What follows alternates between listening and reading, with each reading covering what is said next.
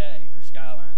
It is a great day indeed for the ordination of uh, two elders and also uh, to install those men today, obviously uh, with God's blessing and with His participation in this service today. Uh, we are excited. We are excited. This has been a, a seamless uh, process for us here at Skyline. We've possibly learned from uh, experiences in the past. a few weeks ago, the, the men assembled five committee members to be a to, to spearhead this project and this process of, uh, of this eldership here at Skyline. And uh, as I said, it was rather uh, seamless, not only uh, from from uh, being wiser than in times past, but also uh, what I believe is just in, in God's fullness of time. we are excited today, and I hope that, that you are too. as, a, as I mentioned a few weeks ago, the men decided to assemble a committee that was responsible uh, for this effort. Those men, uh, besides myself, are Jonathan Bates, Brad Ivy, uh, Jake Johns, and um, uh, Chaskoff, who, who is, um, is out of town today. Uh, but those five men have been working together the last few weeks to, to coordinate this process, hopefully, and, and now finally concluding with the installation of, of elders for this congregation here. As I said, the process was rather seamless. Um, we began by asking the congregation for names uh, in, in recent weeks that you may recall uh, in the past that we, that we, we did. There was a high participation uh, by the congregation. Uh, there were many names who, um, who appeared, and each one that was submitted by each of you uh, was noted.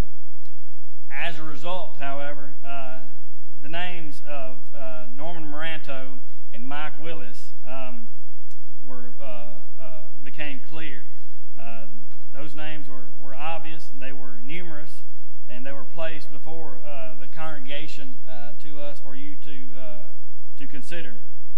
To determine if anyone knew any reason why either of these men should not serve as an overseer for this congregation. Uh, these men have received a strong vote of confidence uh, from the membership.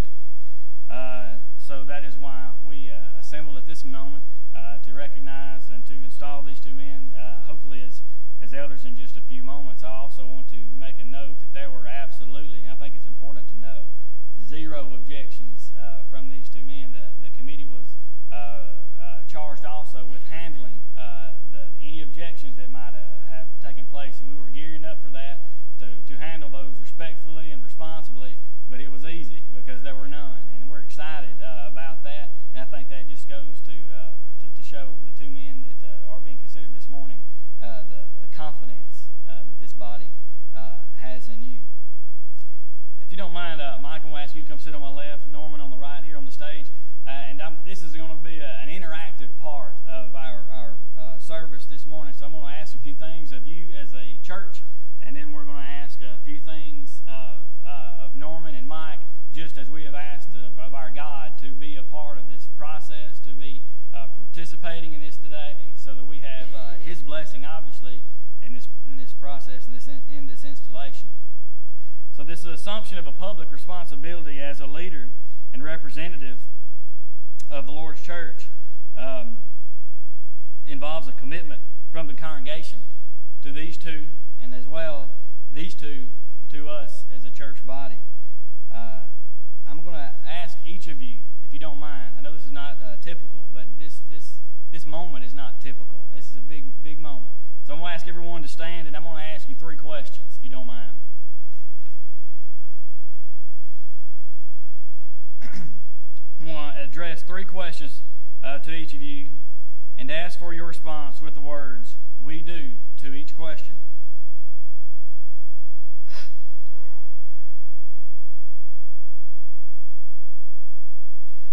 Brothers and sisters, members of this church, do you regard Norman Moranto and Mike Willis as worthy of the work of elders?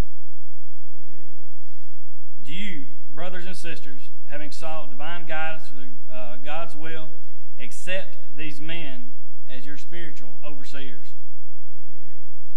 Do you promise to give these leaders your honor, encouragement, and support in the performance of their work? You may be seated. Just as Luke read uh, a, a, uh, few moments ago, um, I will reread uh, the charge that Peter gave uh, to the elders in the early church. 1 Peter chapter 5, beginning with uh, verses 1, uh, read through verse 4. The elders who are among you, I exhort. I, who am a fellow elder and a witness of the sufferings of Christ, and also a partaker of the glory that will be revealed. Shepherd the flock of God, which is among you, serving as overseers, not by compulsion, but willingly, not for dishonest gain, but eagerly, nor as being lords over those entrusted to you, but being example to the flock. And when the chief shepherd appears, you will receive the crown of glory that does not fade away. So I'm going to ask each of you uh, one at a time. Norman, uh, ask you first, if you don't mind, just to, to uh, stand before the table there. And I've got a couple of questions for you uh, from this congregation. and then uh, after you answer these questions, you can address the congregation as you see fit. Okay. Norman Ranto, do you desire this office of a bishop? Yes, I do. Will you faithfully shepherd this flock and to oversee and feed this church of God? Yes, I will. Do you pledge your respect one to another in your discussions and decisions regarding this body with biblical unity? Yes, I will. Will you commit to this congregation to uphold God's word as it relates to doctrine, reproof, correction, and instruction with love and humility? Yes, I will.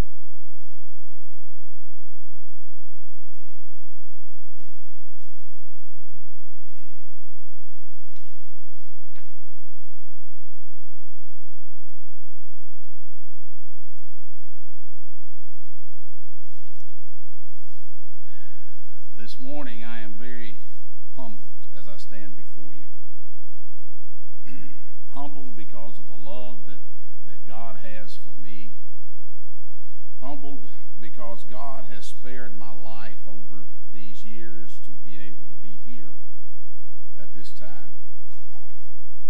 Humbled because of the Christian lady that God has given to me who has stood by me over these many years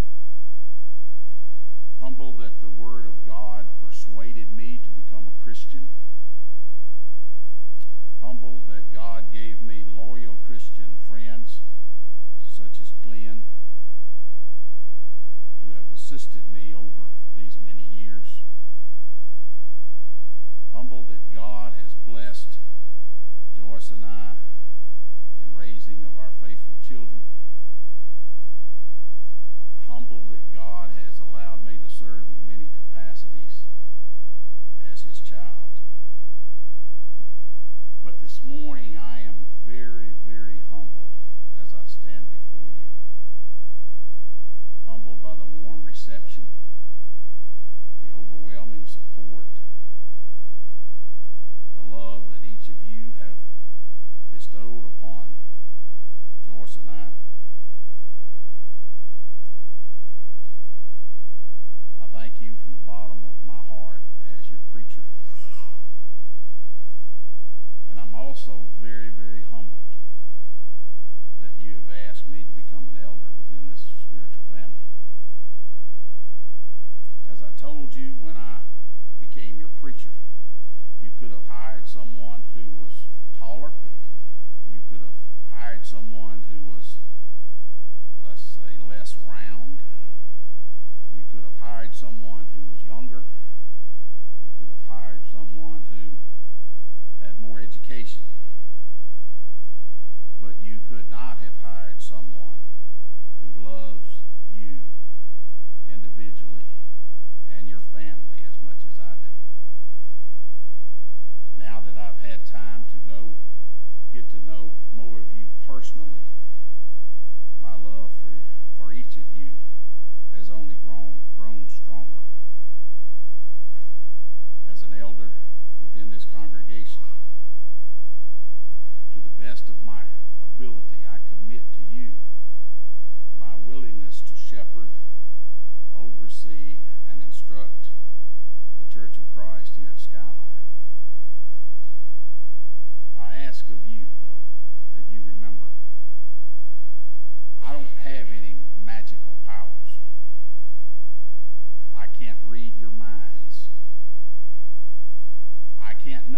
going on.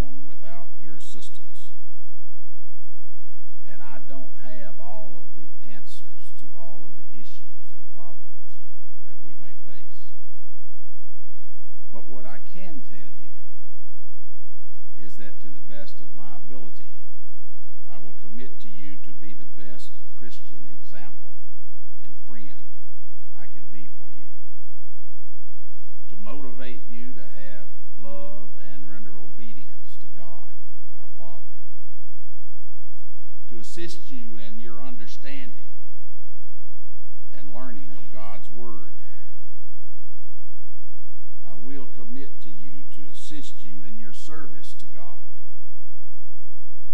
I will also challenge you to a greater responsibility within the church. And I will commit to you to be there with you during the trying times in your lives. Again, I thank you for the confidence that you have placed in me.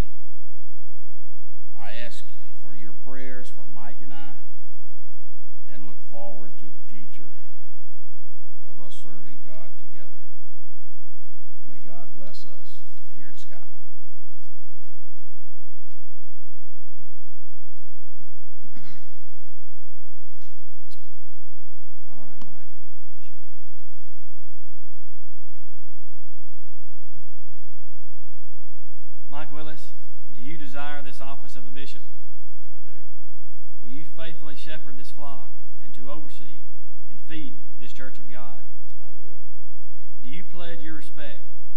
another in your discussions and decisions regarding this body with biblical unity?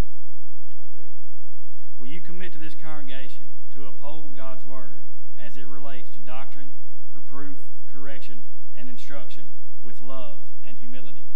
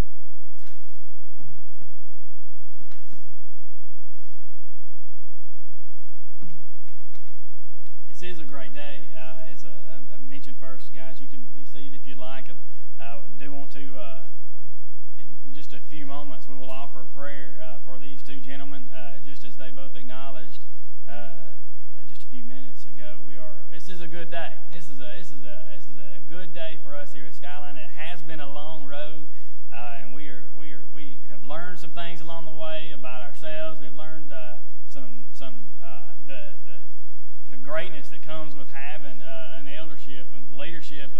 men have taken on this role for quite some time, and sometimes uh, that that just out of necessity, that was the only way to do it. We were a church growing up from the ground. Sometimes we had to we had to raise uh, uh, some of our own uh, to be to be leaders, and uh, that takes time. And uh, we also uh, are proud of, of. Go ahead. Proud to have Mike in this role also, uh, Norman, as this was uh, hopefully something that we uh, he would consider. We talked to him in, in the hiring process how this was a, uh, a paramount uh, uh, initiative for us here at Skyline for, to be able to in, install elders. So we, I, I for one, as a, uh, a member of the men's business meetings, are, are excited to, to and are 100% confident in these two individuals, but but know as a congregation uh, we, we can't retire now and just throw it on these two. So we still go to work, but uh, under great leadership now by these two. So I'm going to ask Jonathan if he would. He'll give us a, few, a lesson here in a few minutes, but before that, if you would uh, offer prayer on, on their behalf.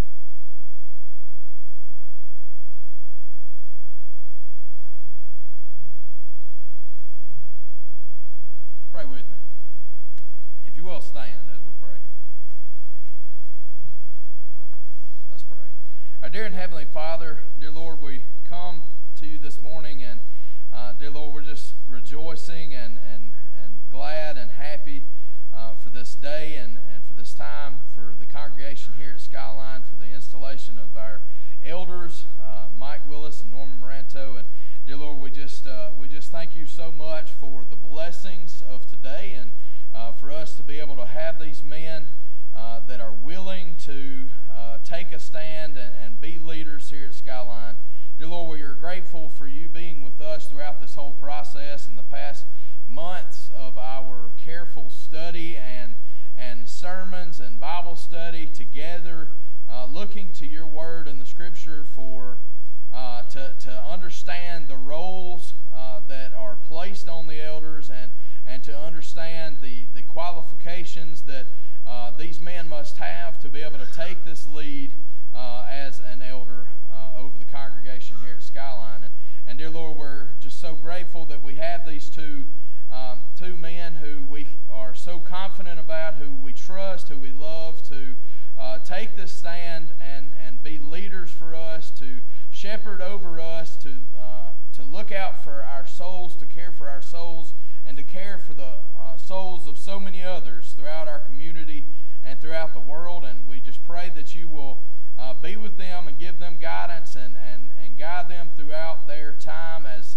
as uh, elders here at Skyline. We pray that you will give them wisdom and uh, that with every decision that they make will be careful, uh, careful time of study and, and looking to the Scripture uh, and, and using the wisdom that you have uh, blessed them with to, to make the decisions for the congregation here that we can uh, keep moving forward and progressing as a congregation, being able to do our main duty as Christians and reaching out and, and serving you, but also being able lost souls uh, that are out there in